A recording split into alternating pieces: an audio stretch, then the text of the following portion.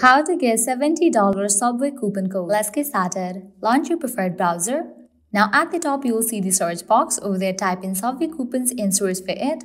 Different website links will appear. Using any of these websites, you can easily get working coupon code for Subway. So go ahead and open any of these. For instance, I'm going to open this one, CouponFollow. After you open it, you're going to find amazing deals and offer. Just scroll and check. $6 off, 50% off, $20 off, and many more. Head towards any of the offer that you want to grab. Just go ahead and click on it. So I have selected 50% off. Here's the code, you can copy it. Then click on Redeem at Subway you will be directed to the official website of Subway.